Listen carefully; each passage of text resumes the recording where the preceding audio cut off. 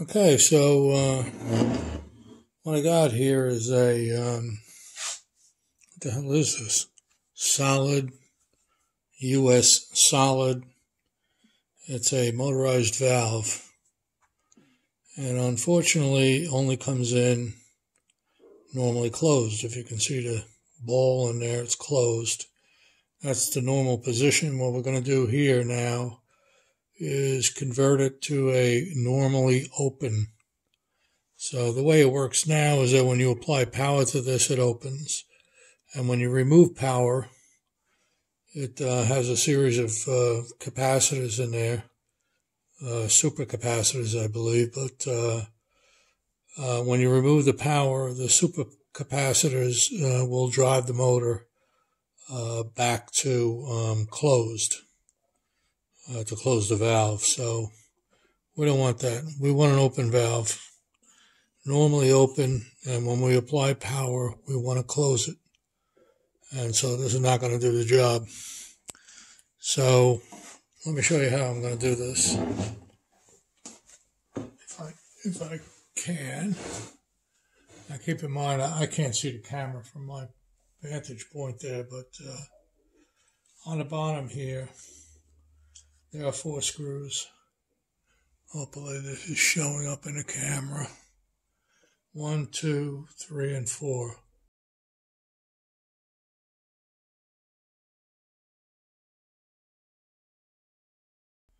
Now these are easy enough to get out, okay, uh, when, it's, when the valve is in this position. And so I've already started a couple. Hmm that can be a chore. They are into plastic and uh, hard to get out in some cases. Or hard to get started. I already started these two here. Okay. So what we're going to do is we're going to remove this body, this valve body. Okay.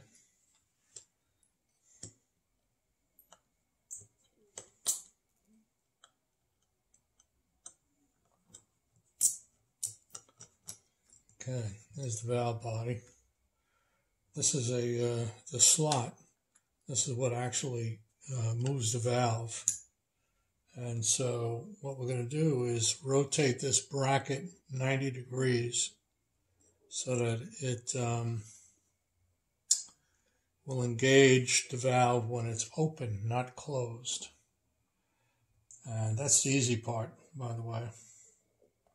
It gets harder after that. Let me, let me just get these screws out of here.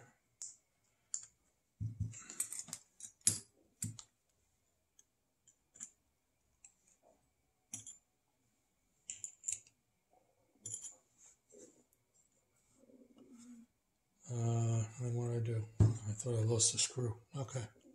So those screws are out of there. Now there's another three screws here. And so what we're going to do is take these three screws out. We're going to rotate this bracket 90 degrees.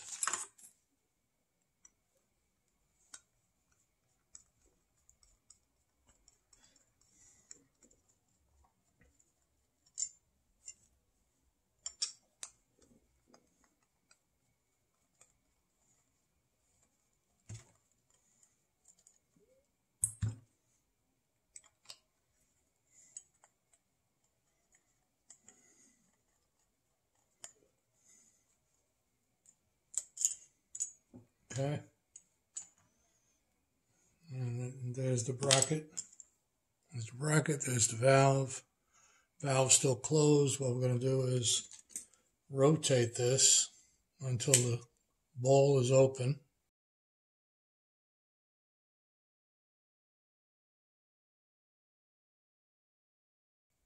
This, this part right here. You're going to rotate it until the ball is open. Okay. Try to get it uh, somewhat vertical or horizontal or inline, so to speak. And we're going to put this bracket back on, but this time it's going to be 90 degrees from where it was. So it will be like this.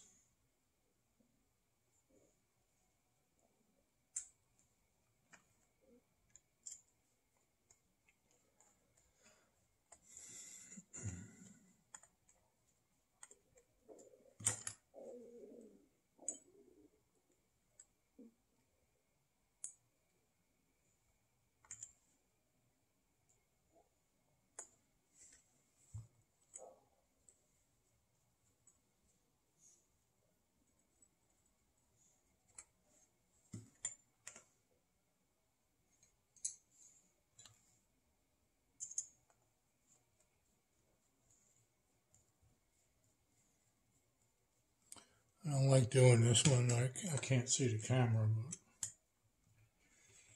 but I don't even know if it's still recording. Let me take a look.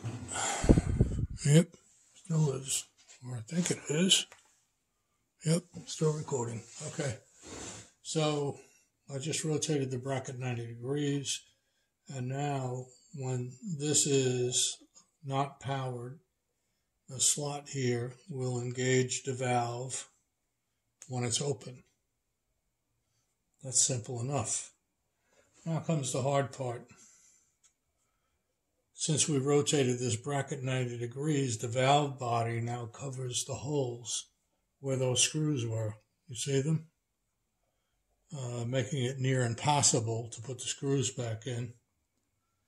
Um, you can put them in and then drive them in with a pair of needle nose, or you can use studs, which is the idea I have. First, I'm going to try to put them in with needle nose, and, and I'll see if I can get them tight enough. This doesn't need, there's not a lot of strength here. It just needs to be held in place. That's it, period. There's not a lot of torque or, uh, you know, it, it just has to be held in place. So, First thing I'm going to try to do is I'm going to get one of these guys. I'm going to grab it with my needle nose. Well, maybe, you know what? Probably be easier if I try to put all four of them in at one time. You see, I can't even get it in now. I might have to remove this bracket again. I can't even get them into the hole. This I probably can on the rear. But up front here, I can't even fit the screw in. So I'm going to have to loosen this bracket up so I can sneak the screws back into these uh, holes here.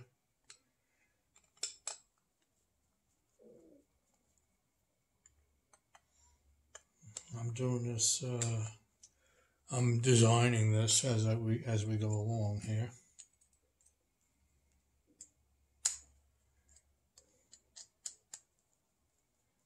Okay, I just want the screws to barely hold this bracket and give me some uh, wiggle room. And now I'll try to get sneak the screws in here.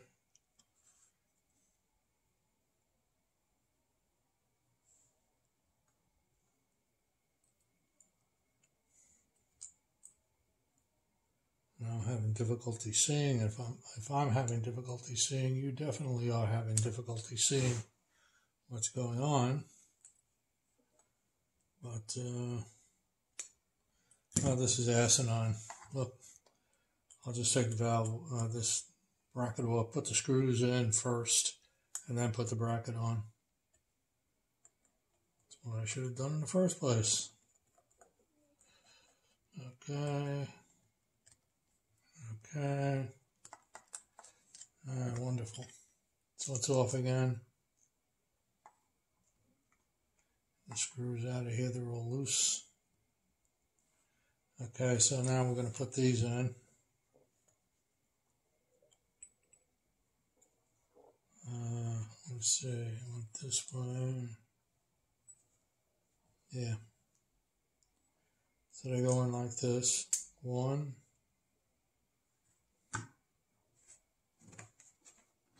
Sloppy, sloppy workbench here actually my kitchen table. Two, three, four. Okay, Now they're in. Little camera check here again. Okay, we're still recording. Great. Okay, so now we're going to put these three screws back in the bottom here and the bottom of the body. And like I said, these screws are going to be hidden. You know, you're not going to easily uh, be able to screw them in. You try it with a needle nose first. If that doesn't work, we're going to uh, epoxy some studs into this thing and we'll use nuts. If, if you don't know what I'm saying, it'll become apparent later if you actually have to do it. But uh, for right now, we're going to give this a try because it may be hard, but it's probably the easiest way for a lazy person like me to actually do this. and pull it off. Pull it off, meaning uh, not pull it off, but get it working. That's what I mean by pull, pull it off. Alright, that's tight. ouch. Uh, yeah, the screw doesn't go in here. Goes in here. There'll always be one one hole here, by the way, on this bracket that won't be used. Depends on which way you turn it. This hole is not used right now, so I'm going to push the screw back out of here. Hmm.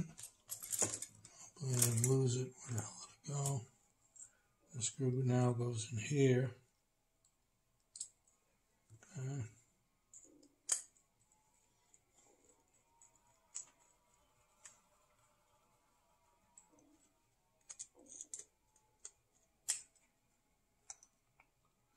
Okay, let's get this one tight.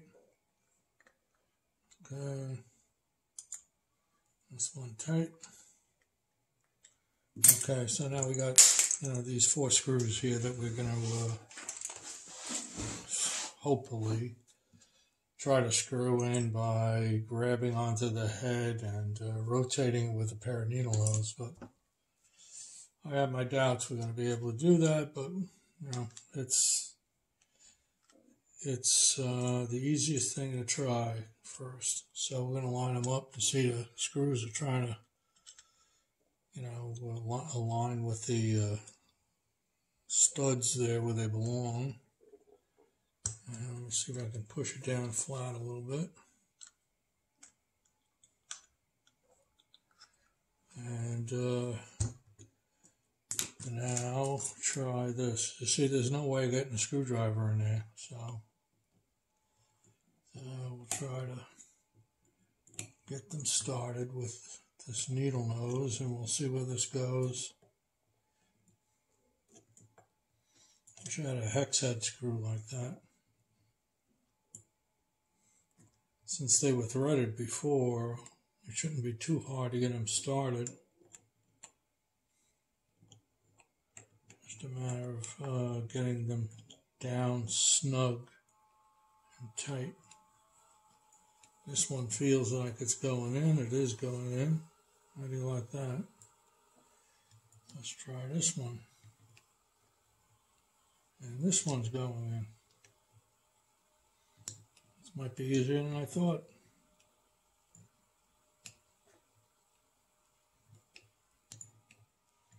Yep, it's going in. I might, might actually uh, pull this off. And then this guy. I don't know how much you see on the camera, but you, you get the gist of it, right?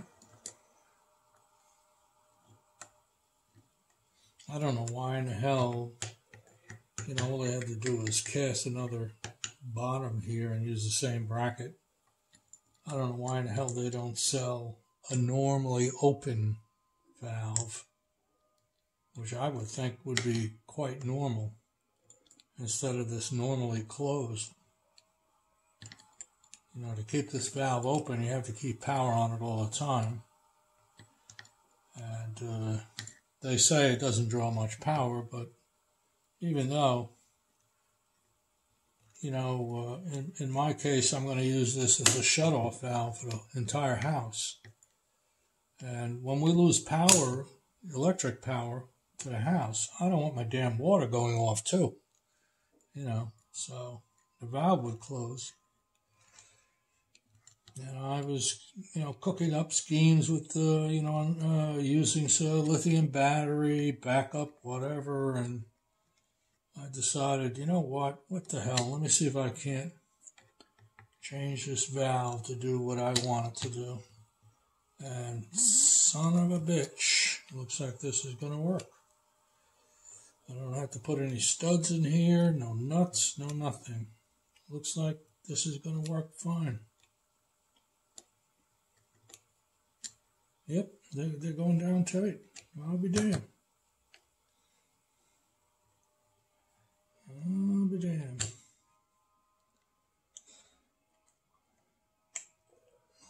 A little hard to grab the heads.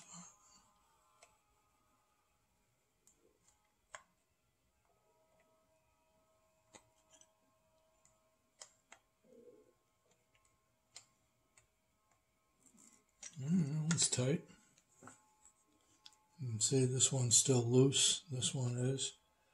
But they started in a hole, so it shouldn't be too bad. And I can see it's going down, so threading in there.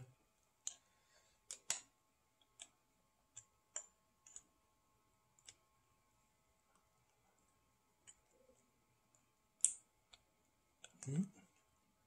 Needle nose. There you go. Tight.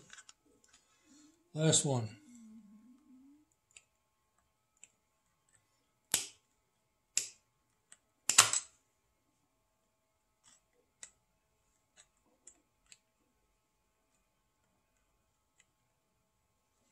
And there you have it. Oh, but damn, works fine. All I gotta do is apply power to it. See, it's normally open now. That's exactly what I want.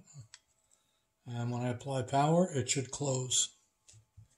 Um, and let's see if the uh, filming gods are with us. It's still uh, actually recording. That's a good thing. So let me get something to power this thing up and I'll be right back.